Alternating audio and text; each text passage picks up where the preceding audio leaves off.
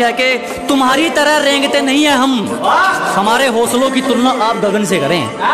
कि अजी आपकी तरह रेंगने वालों में से नहीं है। हमारे हौसलों की तुलना आप गगन से करें और जलने वालों की सिर्फ़ एक ही सलाह दूँगा। कृपया अपना काम पूरी मेहनत और लगन से करें।